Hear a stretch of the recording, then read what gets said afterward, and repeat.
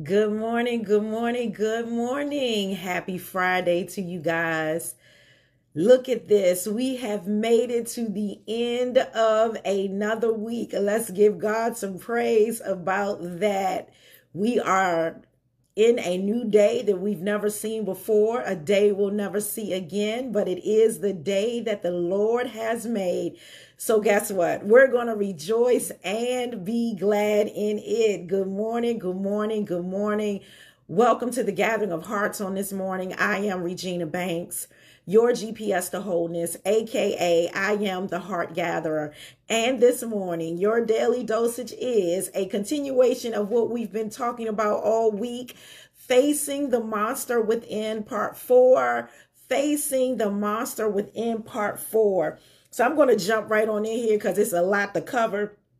So, yesterday, we started talking about how do I face this monster within? And the first thing that we said was we have to be aware of our salvation, right? Be aware of your salvation and that that salvation gives me access to God's power. It gives me access to God's presence and it gives me access to God's plan. And so the second thing when we are facing the monster within that we need to be aware of is we've got to be aware of the power of our thoughts. That's right, of our thoughts. Those thoughts, those thoughts, those thoughts will get you in trouble. Remember the Bible says if you thought a thing, you might have, you might as well have done it. And so those thoughts are things that can get us in trouble, right? With that facing that monster.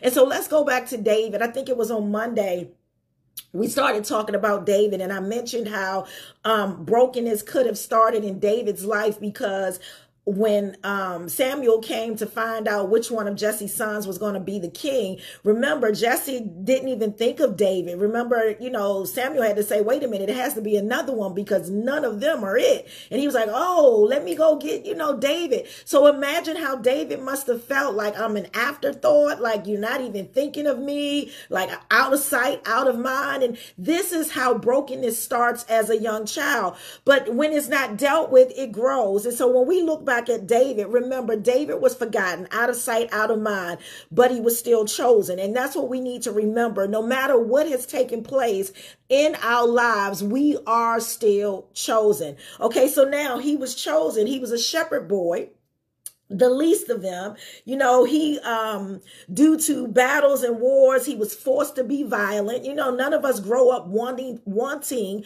to be violent but because of his life that's what happened um all of this disqualified him from building the temple, although he had a heart to want to do it, but he couldn't. But then he thought so much. We all know when the first things most people think of um, when you think of David, after thinking of one after God's own heart, the first thing you think about is the story or the account of Bathsheba, right? Let's look at that. Bathsheba. Now, first, let's go back to all of the things that took place. He was forgotten, where the brokenness got started, wasn't dealt with, you know all of that we get to the story of Bathsheba. He kept thinking on her and thinking on her and thinking on her and thinking on her, watching her, watching her, those thoughts, those thoughts, those thoughts. So much that he concocted a plan. You know, he sent for her, he sexed her, he impregnated her. And then, you know, that plan again, you know, let's send for the husband. Let's try to make the husband come home and do what they need to do. The husband is like, no, I'm not doing that. Not while my men are out there on the front line on war. I can't do that. And, you know, this me, Pastor G, I tell a great story, love to tell a great story, paraphrasing. Um, I'm not doing that. So what does David do? That plan isn't working. Send him back out to war, put him on the front line where he's going to be killed, you know, and you know, we know the story. Uriah is killed and um, comes back and Nathan comes back and says something to David. He does what we call a, a, a mm, Jericho, uh, a, a jericho, jer- juridical parable, um, getting all tongue tied here, um, where you tell somebody something, you already know what it is, but you want them to judge it, and it's basically them. So, you know, uh, Nathan begins to tell him the story of the man that has a lamb. He raises him as a child, you know, then uh, the man, the rich man comes, the rich man's having a party. He has all of these lamb, and instead of using the ones that he has, he takes away from the one that the man that only has one is raising a lamb like it's with his his family like a child. David is upset. He was just like, um, oh my God, I can't believe somebody would do that. You know, he pretty much says, take his head and put it on a platter. And so then uh, Nathan is like, dude, that is you. And, you know, of course, Nathan, I'm sorry, Nate, David, he, you know, he comes clean. He doesn't try to, you know, get out of it. He comes clean. But we, um, and that, that thing stays on his house forever. And so once Amnon rapes Tamar, David can't do anything about it because he's pretty much guilty of the same thing. This thing now stays in his household forever. Pastor G, why are you telling us all this? because it started out with a thought. It was his thoughts. It was his thoughts lusting, wanting Bathsheba, watching her. All of this started with the thought. So David's thoughts caused him to lust after another man's wife, send for her, sleep with her, impregnate her, send for the husband, try to get the husband to sleep with her, you know, and then sent him to the front line to die. And this all came from thoughts. This is why we have to get our thoughts under wrap, you know, get some control over them. And remember, I've shared with you guys the monster within me and how my thoughts had me so messed up that even when I was introduced to help, I did not want it. Why? Because of my thoughts, because of the pride, because of the revenge that I wanted. I remember when my, my late pastor was trying to talk to me, trying to help me. Jesus can do it. God can do it. And I felt like this. You want me to trust a man that I cannot see when I could not trust a father that I could see all because of thoughts, had bad thoughts.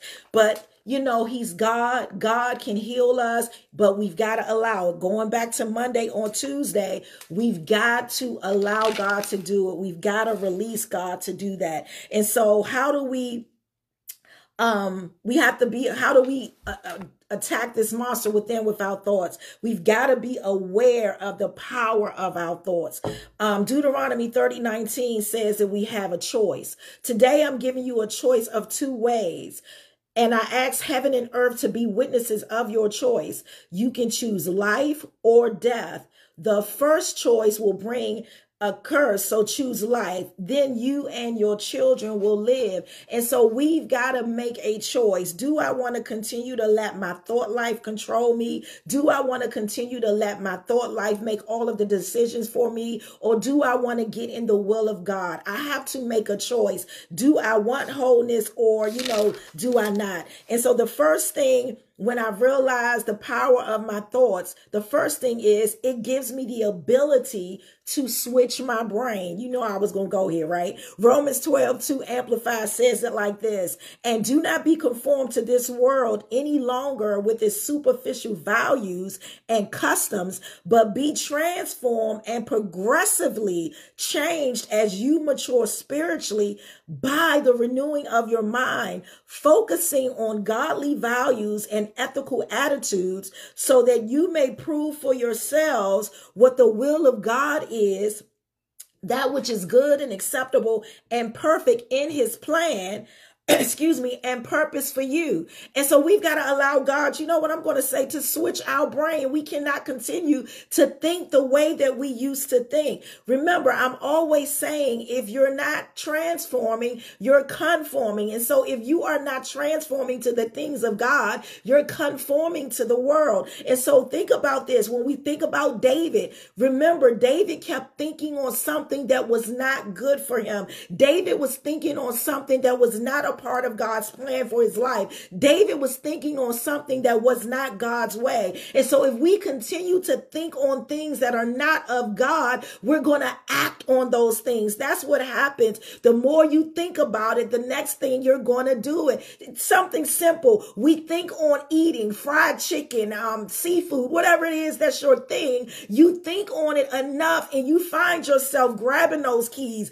getting in the car, and you're going to get it if if you don't already have it in your house. It's your thoughts that we've got to learn how to control. When we understand the power of our thoughts, we can do anything. And so the first thing when I get a hold of the understanding and being aware of the power of my thoughts, I realize this. Number one, it gives me the ability to switch my brain. The second thing that it does, it gives me the ability to take my thoughts captive. Second Corinthians 10, 4 and 5, and I'm reading it in the King James Version, the American edition. So that's KJVAE. It says this, for the weapons of warfare are not carnal, but mighty through God to the pulling down of strongholds, casting down imaginations and every high thing that exalteth itself against the knowledge of God and bringing into captivity every thought to the obedience of God. And so I've got to now learn how that when those thoughts come, I've got to grab that thing, take a hold of that thing and make it bow down and make it obey the word of God, which means this, I'm getting control of my flesh. I'm getting control of the carnal mind. I'm allowing the spirit in me to rise and I'm taking control. I will no longer let my my flesh control me. I will no longer let, uh, be crucified by my flesh, but now I'm letting the spirit man reign. And I'm saying, look, thought, we're not doing this today. And I'm making that thought bow down to the obedience of God. So I might have a thought of sickness. I might feel like, oh, what the doctor said is true. But then I've got to grab hold of that thing and say, listen here, the Lord thy God said, he is the Lord thy God that healeth me, that no weapon formed will prosper. You know, it may form, but it's not going to prosper. So I've got to grab hold of that thought that's trying to take control, that's trying to go against the word of God. Bow down, brother. Bow down, sucker. I've got to make that thought bow down and obey the word of God. I've got to grab it, take captive of it. And then the last thing Number three, when I'm aware of the power of my thoughts. Number three, it gives me the ability to jump from the old to the new. You know that TikTok challenge when you see somebody, they dress one way and then they go boom, boom, and then you see something new. That's what it's like when it says this. It gives me the ability to jump from the old to the new. Second Corinthians 5, 16, 17, the easy reading version says it like this. From this time on, we don't think of anyone as the world thinks of people. It is true that in the past, we thought of Christ as the world thinks, but we don't think that way now. When anyone is in Christ, it is a whole new world. The old things are gone. Suddenly, Everything is new. And so when I'm made aware of the power of my thoughts, I'm now able to jump from the old to the new. I'm able to make a decision that I don't want to live this life anymore. I'm able to get over here in the new where God is doing a new thing, where God wants so much more for me that God doesn't want me to be the same girl that I am or the same man that I am, but he wants me over here in the new where he's doing a fabulous thing with my life. Remember the Bible Bible tells us that he has a plan and he says, I know what I'm doing. I know the plans that I have for you. And these plans are good to give you a future and a hope that is not going to cause you any harm. So when I'm made aware of the power of my thoughts,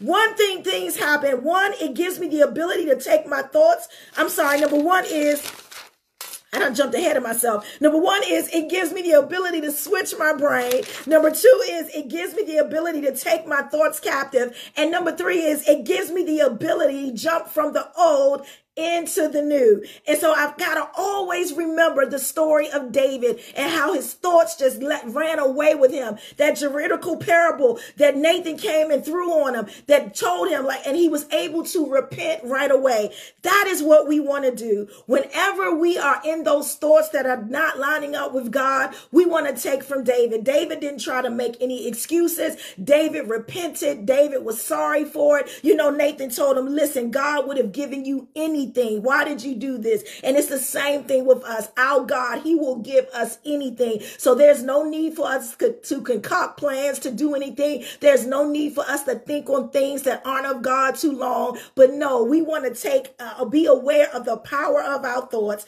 understanding that when I'm aware of the power of my thoughts, that power gives me the ability to switch my brain. That same power gives me the ability to take those thoughts captive and make it obey the word of God. And that same power gives me the ability to jump from the old into this new thing that God is doing with me. This is how I begin to face the monster within. Amen. Hey, listen, that's the daily dosage for today. Facing the monster within part four. If you have not subscribed to the YouTube channel already, please do so because there you can find all of your dosages in one place. Follow me on social media platforms. God wants me whole. Visit the website, godwantsmewhole.org. You know how we do this thing. Come on, let's say it together. Say, God wants me whole, and I am. Again, I'm Regina Banks, your GPS to wholeness, aka I am the heart gatherer. Listen, I want you to go out there, have a speck while amazing day. Stay cool because it is hot out there.